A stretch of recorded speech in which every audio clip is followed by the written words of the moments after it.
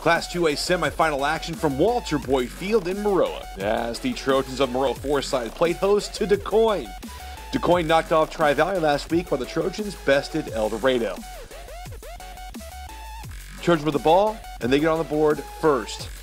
Tyler Ray finds Cam Boline wide open. Touchdown Trojans, they're up 7 0 in the first quarter. DuQuoin would answer back in the second. Caleb Vogel hands it off to Zane Fournier. He takes it in for the score, and we're tied up at 7 going into halftime. In the third, more DuQuoin, misdirection play. We lost him there. There it is. Leads to a Devin Jones leaping grab, 14 7 DuQuoin. Then on the kickoff, it's fumbled by the Trojans on the five, goes into the end zone, and DuQuoin's going to recover. They lead at 21 7 the third. We head to the fourth. And Maroa Forsyth would get going. After Jackson Nelson pick Tyler Ray, he finds DeAndre Gregory, and he is gone down the sideline. 21 14, Trojans trail nine minutes left in the fourth.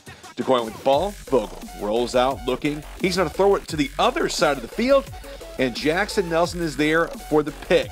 Then, as his second pick of the fourth quarter, the kid is jacked.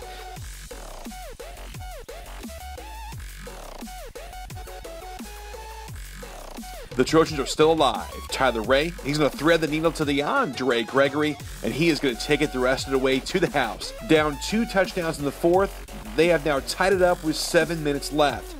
And after another Trojan defensive stop, Tyler Ray's going to hand it off to Jackson Nelson. Takes up the middle. He has room, and it's a foot race. And he's going to win that one.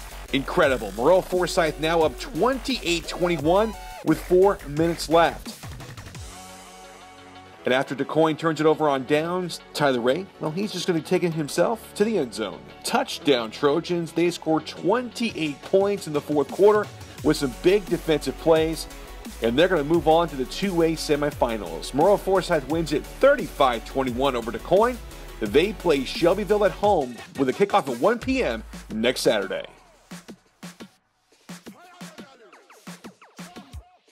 Uh, unbelievable feeling. Uh, we, we preach and preach and preach to our kids. They sign on for 48 minutes. That's a great ball club right there. Uh, obviously, everything was going against us, and uh, I couldn't be more proud of our kids for stepping up and, and believing in what we do.